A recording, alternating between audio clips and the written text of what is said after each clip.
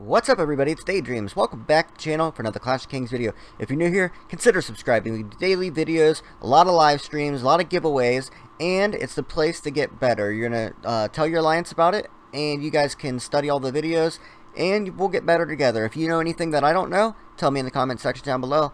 So, guys, I've got some pretty exciting news. I will be casting the Dragon Campaign Playoffs on December 10th. They start on December 10th. I'll probably be doing them like um, all week or however long it takes. Um, it might take like a couple weeks. I can't really remember how long it takes. I'll have to look at the details of it.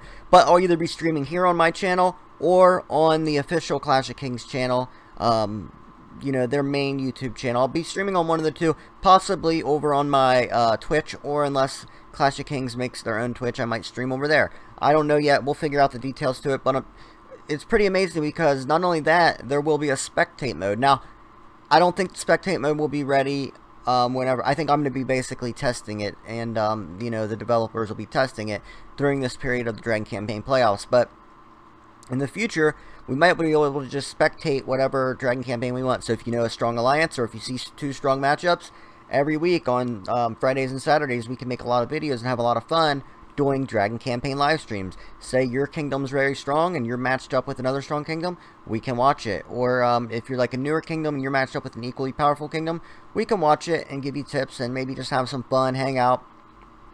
It's something to do. And that's why I'm happy that they're actually putting something in the game where it's something more that we can do. Now, um, on a lesser exciting note, I'm going to show you a screenshot that I have right here. I'm not sure what this is all about. It seems like it could be kind of like Kingdom Conquest. Let me go over to my home screen right now so I can show you. Okay, so let's see. Look here. My lord, we will be testing a new feature, the Plunder card, in Kingdom 2 and in Kingdom 6 today. Test time, blah blah blah. Castle requirements, level 19. Game version, the new version. When test is over, all the Plunder cards will be taken back by the system.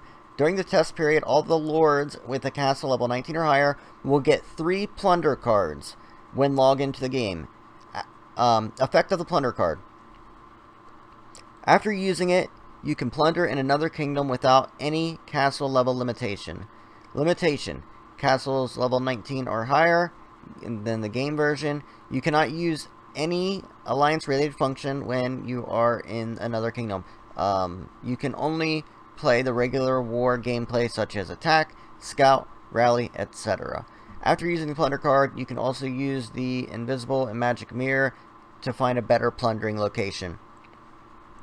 So it seems like this is like a mini, it's like a mini Kingdom Conquest where you get three plunder cards. Now, I don't know if the card lets you go to that kingdom for the duration of the plunder or if it's just like you get three cards so that you can attack three castles, then you can use the magic mirror to find out where the best resources are and go steal them. That's kind of what I'm thinking it's going to be. So, a little bit of news. I always share the news with you guys.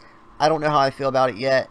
Um, so we'll just uh, we'll we'll cross that bridge when we get there. But um, scheduling, guys, the Dragon campaign got moved back to um, 1 a.m on, I guess, Saturday morning. It'll be, it's still like Friday night, but it's right after midnight. One hour after midnight. So it's uh, three hours or four hours later than usual. Sorry about that. We had to make it so where our Arabic players could play as well. Because I try to accommodate for everybody. And I'll make it a little bit less, um, you know, of a good time for me. If it does help out some of the other players in the Alliance. Because I can get on it anytime, uh, really. But that's going to be all, guys. We're going to be doing the Dragon Campaign playoffs, and I'm really, really excited about it. Now, hopefully I can open the dialogue back up with the Clash of Kings developers, and we can get some more events, and we can get open events and um, private events, and, um, you know, we can even, you know how many rich people there are in China and around the world that would love to fund their own tournaments, their own events, things that take real skill, and, um, you know, you could even put, like, uh,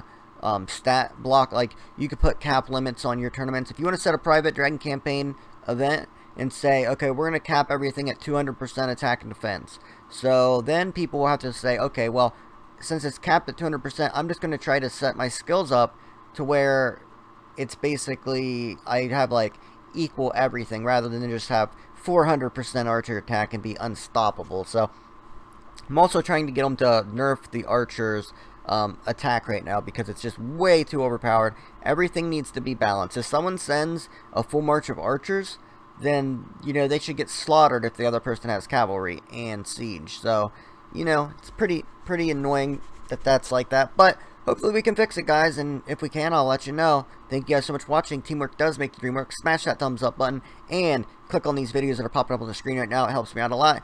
Click that subscribe button, and when you do, make sure you turn on all notifications. Thank you guys so much. I'll see you tonight. Uh, I'll be doing a Clash Royale video. Peace.